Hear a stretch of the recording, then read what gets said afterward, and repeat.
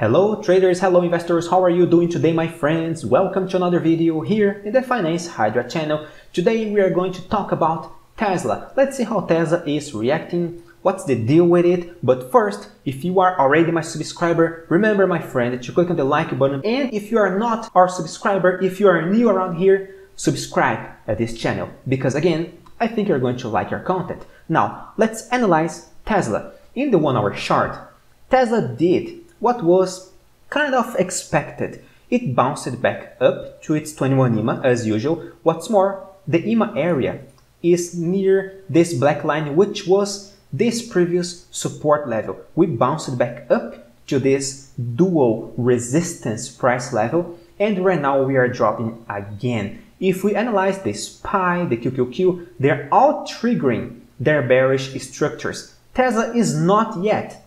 So Tesla it is quite resilient in the short term. Yes, it is. But I do believe Tesla is going to trigger this bearish structure and it has very good chances of filling this gap over here, which has yet to be filled at $847. Okay, today's low was $850. Wow, that was a, that was quite close. But I do believe Tesla is going to fill this gap for good.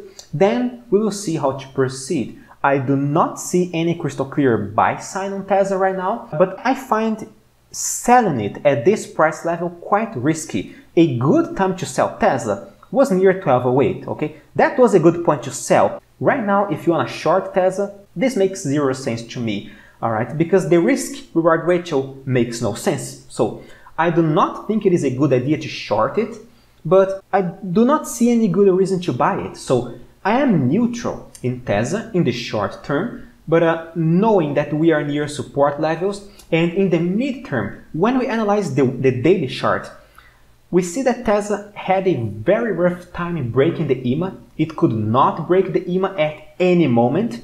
And uh, right now we are dropping again. However, I find quite curious how low this volume was, okay? It was a very low volume, so I am not happy with that. I believe Tesla is dropping only because it lacks momentum instead of uh, there are people actually selling it because again, no one is selling Tesla right now because it makes no sense. It feels like it is just the lack of momentum that is making this annoying movement. And this is how I see Tesla right now. When we, when we analyze the daily chart along with the weekly chart, we see an even stronger pattern.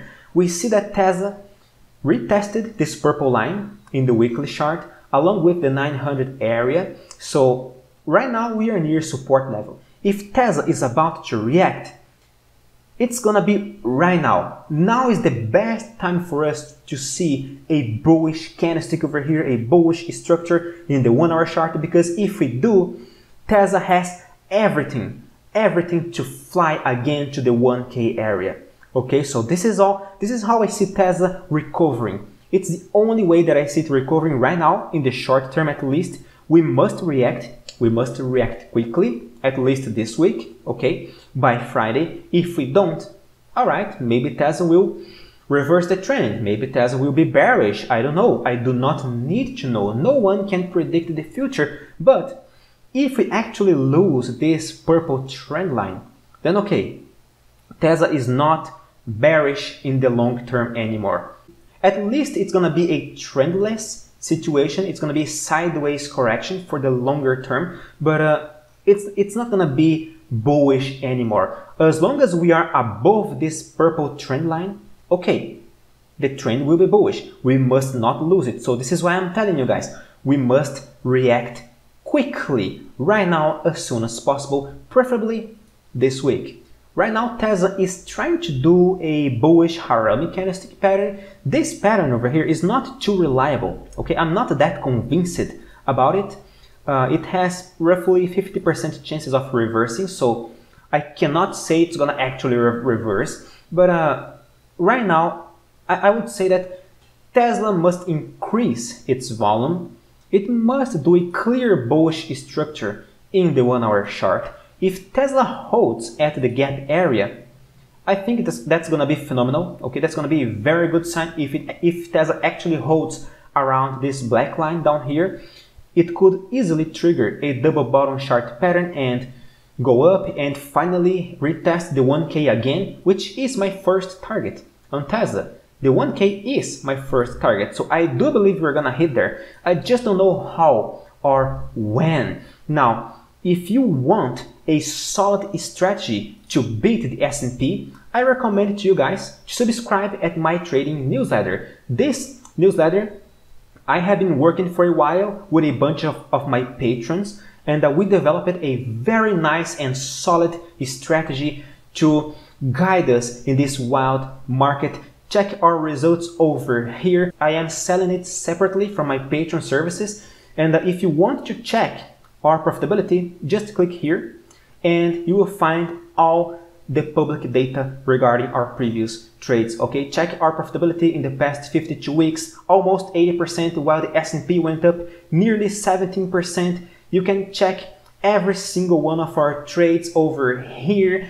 Uh, more than 500 trades, all the data is here, okay? Average gain, average loss, win ratio, risk reward ratio, final results, number of positive weeks, or alpha, and much more. You can find everything here on our newsletter. So I really recommend you guys to join our services, subscribe at our newsletters, and uh, if you want to have access to our ongoing week, this is a privilege that only my subscribers will have access in real time, okay? So yeah, subscribe to my newsletter so you can have access to the best of my services, all right? So for now, all we can assume is that Tesla is, well, it is trying to trigger a bearish structure, but uh, this week is gonna be wild, so we can expect volatility, we can expect that Tesla will have a rough time, but if by any means it triggers a bullish structure, man, the $1,000 is gonna be just one step distance, okay? So yeah, in my humble opinion, I do believe Tesla will react. If you ask me personally, my humble opinion, Nathan as a retail trader, I think Tesla will react. However, it's rough to say that right now because we see no evidence on the charts.